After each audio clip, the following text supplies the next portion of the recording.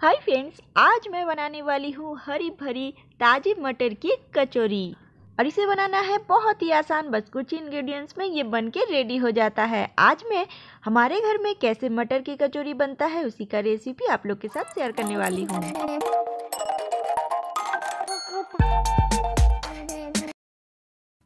तो यहाँ पे सबसे पहले मैं आटा को रेडी करूँगी? तो मैं यहाँ पे मैदे का बना रही हूँ। आप लोग चाहे तो मैदा, आटा दोनों मिला के बना सकते हैं या फिर खाली गेहूँ का आटा से भी ये बना सकते हैं। लेकिन आज मैं बनाने वाली हूँ मैदे से। तो यहाँ पे तीन कप मैदा ले ली हूँ। उसमें ऐड करूँगी तीन कप रिफाइंड ऑयल।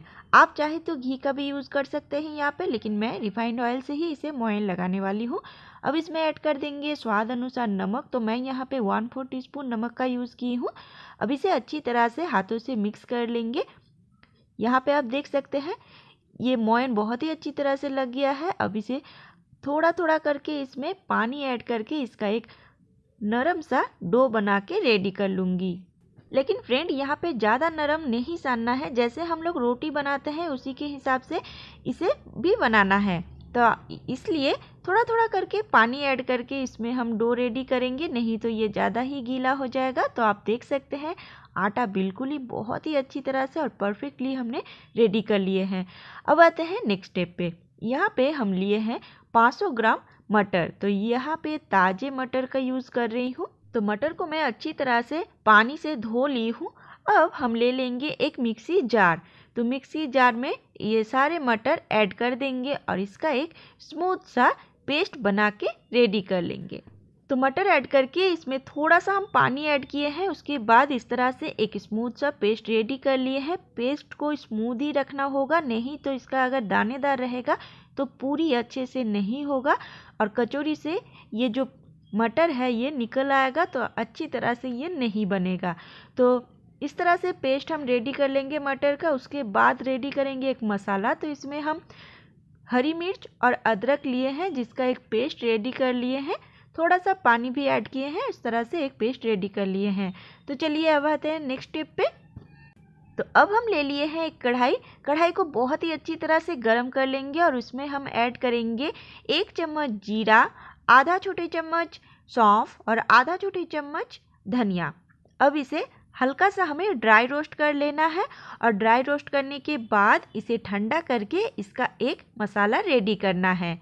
तो चलिए इसे ठंडा होने के लिए रख देते हैं और इसे मसाला रेडी करेंगे। तब तक आ जाते हैं नेक्स्ट स्टेप पे। फिर से हम ले लेंगे एक कढ़ाई, उसमें ऐड करेंगे तीन बड़े चम्मच सरसों का तेल और ऐड करेंगे एक आधा छोटी चम्मच कलौंजी और दो बड़े चम्मच अदरक और हरी मिर्च का पेस्ट, जो हमने पहले ही रेडी करके रख दिए थे। तो इस तरह से गैस का फ्लेम लो में रख के इसे थोड़ा सा हम फ्राई कर लेंगे। उसके बाद इसमें ऐड करेंगे मसाला तो वन फोर टी स्पून हल्दी powder, one four teaspoon Kashmiri red chilli powder add कर देंगे। थोड़ा सा इसे फ्राई करेंगे और गैस का फ्लेम इस समय लो में ही रखें, नहीं तो ये अदरक जो है ये जल सकता है और टेस्ट भी अच्छा नहीं आएगा। तो चलिए थोड़ा सा इसे हम फ्राई कर लिए हैं। अब ये जो मटर का पेस्ट हम लोग रेडी करके रखे थे, वो इसमें ऐड कर देंगे और गैस का फ्लेम लो में ही रख के इसे हम पका लेंगे। लेकिन इससे पहले हम स्वाद अनुसार नमक ऐड कर देंगे। तो चलिए नमक ऐड कर दिए हैं। अब इसे अच्छी तरह से हम थोड़ी देर फ्राई करेंगे। तो इसे हमें तब तक फ्राई करना है जब तक कि नहीं ये ड्राई हो जाए। लेकिन हाँ गैस का फ्लेम लो में ही करके करें, नहीं तो ये जल सकता है, उसका टेस्ट भी ख़राब आ जाएगा। तो चलिए, थोड़ी देर इसे पकाने के बाद हम इसमें आधा छोटी चम्मच चीनी ऐड कर दिए हैं। चीनी ऑप्शनल है, आप लोग चाहे तो स्किप भी कर सकते हैं। तो चलिए, अब इसमें हम ऐड कर देंगे एक चम्मच रोस्टेड मसाला, यानी कि भाजा मसाला। और ये जो मसाला है, ये सबसे लास्ट में हम ऐड करेंगे जब ये ड्राई होना शुरू हो जाए। तो यहाँ पे ये बिल्कुल रेडी हो गया है। अब गैस ऑफ़ करके इसे हम ठंडा होने के लिए रख देंगे। तो थोड़ी देर बाद मसाला हमारा ठंडा हो गया है। अब एक एक करके हम कचौरी को बेल लेंगे। तो यहाँ पे आप देख सकते हैं, लुइया बिल्कुल रेडी हो गया है। इस तरह से हम हाथों से प्रेस करके इसका एक स्मूथ सा डो रेडी कर लेंगे। उसके बाद इसे इस तरह से कटोरी में सेप दे देंगे। फ्रेंड इसे बनाना बहुत ही आसान है। इस तरह से आप दोनों उंगली से प्रेस करने से ही ये एकदम कटोरी जैसा हो जाता है। इसके अलावा अगर इस तरह से नहीं होगा तो आप बेलन की मदद से छोटे छोटे पूरी बना के उसके बाद ये जो मटर की स्टफिंग है, इसे आप भर सकते हैं और इस तरह से इसे मोड़ सकते हैं। तो इस तरह से आप सारे कचौरी बना के रेडी कर ले। तो यहाँ पे हमारा ये जो कचौरी है स्टफिंग भर के रेडी हो गया है। अब इसे है बेलने की बारी। तो यहाँ पे चक्की और बेलन में थोड़ा सा हम रिफाइंड ऑयल ग्रीस कर लेंगे और उसके बाद इसे हम बेल लेंगे। तो छोटे छोटे पूरी के शेप में आप इसे बेल सकते हैं।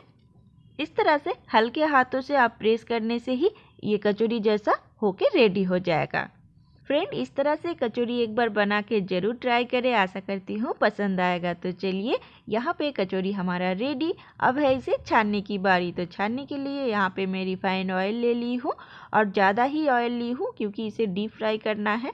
ऑयल को हम बहुत ही अच्छी तरह से गर्म कर लिए हैं और उसके बाद गैस का फ्लेम मीडियम में रख के इसे हम फ्राई करेंगे। तो यहाँ पे कचौरी को एक एक करके हम फ्राई कर लेंगे। तो कचौरी को तेल में ऐड करने के बाद इस तरह से थोड़ा सा आप प्रेस कर ले साइड से। तो कचौरी जो है, ये फूल के बहुत ही अच्छी तरह से पकने लगेगा। और इसके अलावा गरम तेल ऊपर से आप इसमें ऐड कर सकते हैं। तो ये बहुत ही अच्छी तरह से फूल जाएगा। इस तरह से बनाने से सारे कचौरी आपका फूल जाएगा और बहुत ही यम्मी, बहुत ही टेस्टी लगेगा। तो दोनों साइड से ये हल्का सा कलर चेंज होने तक इसे हम फ्राई करेंगे। गैस का फ्लेम मीडियम में रखें, नहीं तो अंदर से ये कच्चा रह जाएगा। तो इस तरह से आप देख सकते हैं कचौरी हमारा बिल्कुल रेडी हो गया है। तो चलिए इसे आप निकाल लेते हैं और गर्मा गर्म सर्व कर लेते हैं। तो यहाँ पे सारे कचौरी मेरा बन के रेडी हो गया है। मैं इसे जैगरी के साथ सर्व कर रही हूँ। आप लोग चाहे तो अपना पसंदीदा हिसाब से इससे सब्ज़ी के साथ सर्व कर सकते हैं। तो आशा करती हूँ आज का ये कचौरी रेसिपी आप सबको पसंद आया होगा। पसंद आया तो वीडियो को लाइक और शेयर करना ना भूलें और मेरे चैनल पे अगर नए हैं तो चैनल को प्लीज़ सब्सक्राइब करके जाए।